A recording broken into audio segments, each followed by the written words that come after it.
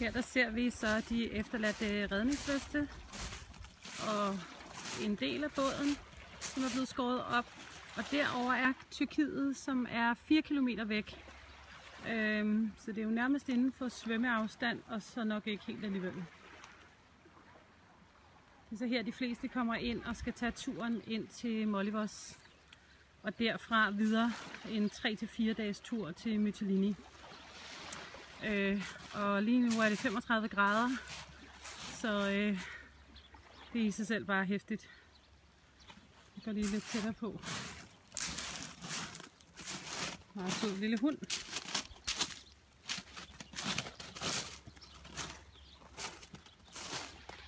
Altså her er der jo et kæmpe bjerg af ressourcer, som kunne være mega fedt, at det kom tilbage til øh, Tyrkiet, så det kan genbruges. Øhm, og øh, så vidt vi er orienteret, så er der nogen, der, der tager sig af det, og dem skal man vist ikke rigtig lægge sig ud med. Så det er vi lige ved at finde ud af, om vores øh, hvad skal man sige, øh, genbrugsstation her, om det er noget, der holder vand, eller om vi simpelthen får lagt os ud med nogle, øh, som er connected med nogle menneskesmuglere, som faktisk øh, tjener penge på at sælge de her redningsveste en gang til. Så øh, vi gør ikke noget, der er sådan overilet, men vi ser bare, hvor vi kan hjælpe. Så vi har møder med flere endnu i dag, og så ser vi ligesom, hvad, hvad er det, vi skal sætte ind på.